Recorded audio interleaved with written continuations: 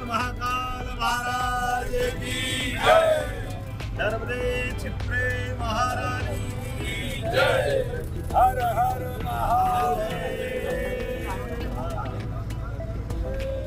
मध्य प्रदेश की पूरी कैबिनेट आज मुख्यमंत्री मोहन यादव के साथ रामलला के दर्शन के लिए जा रही है। विशेष बस में जो आप देखें कि पूरी की पूरी कैबिनेट जो है, मुख्यमंत्री मोहन यादव समेत तमाम मंत्री जो हैं, वो इस कैबिनेट में आज जो मौजूद थे, वो सब अयोध्या जा रहे हैं। राम मंदिर के दर्शनों के लिए, और ये आप देख सकते हैं, ये काफिला है गाड़ियों का, और इसमें तमाम जो मंत्री हैं, वो मौजूद हैं। यहाँ से विशेष इन बसों के ज़रिए ये सभी मंत्री जो हैं, पहले पहुँचेंगे एयरपोर्ट, और एयरपोर्ट पहुँचने के बाद फिर वहाँ से विशेष विमान के ज़रिए ये पूरी कैबिनेट जो है, पूरे के पूरे मंत्री जो हैं, वो रवाना हो जाएँगे अयोध्या के लिए। ये एक दिवसीय दौरा है भगवान श्री रामलला के दर्शनों का, जिसमें मोहन यादव समेत उनकी पूरी कैबिनेट मौजूद है। ये हम सबका सौभाग्य है, परमात्मा की कृपा है।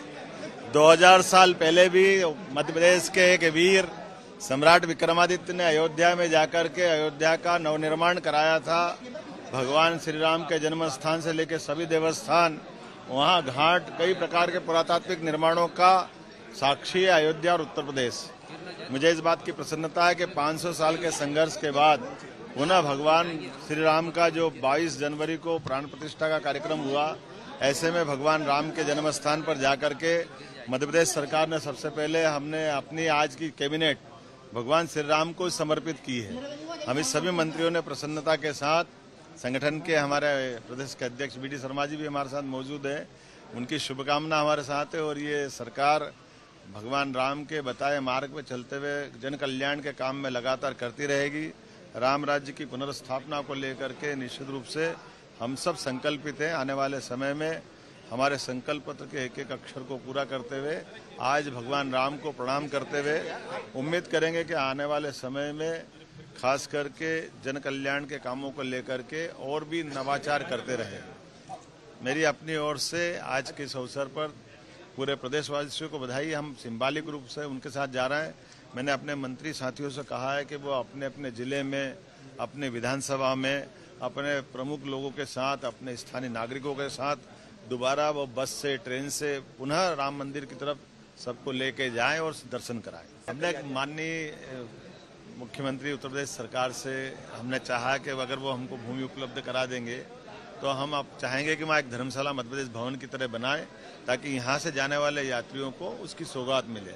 बदले में वो हमारे तीर्थ स्थान पर भी, जैसे महाकाल, ओंकारेश्वर, दतिया, ओरछा, कटनी, जहाँ भी वो चाहेंगे तो वो अपने भवन बना सके। ऐसे सभी देवस्थानों के बारे में विचार कर। इसके साथ आपको बता दें कि मध्य प्रदेश सरकार ने मांग की है, उत्तर प्रदेश सरकार से, कि वो सरयू नदी के तट पर उन्हें ज़मीन मुहैया कराए, ताकि वहाँ पे राजा विक्रमादित्य के नाम से घाट जो है वो बनाया जा सके। मध्य प्रदेश के जो श्रद्धालु हैं, जो अयोध्या जाएँगे आने वाले समय में, वहाँ पर मध्य प्रदेश सरकार की तरफ़ से एक धर्मशाला एमपी के भक्तों के लिए बनाने की बात।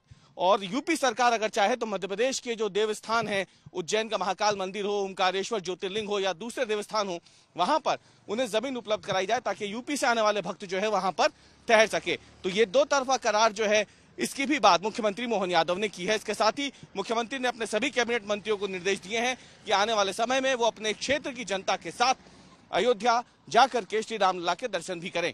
कैमरामैन अमरीश के साथ रवीश पाल सिंह, भोपाल।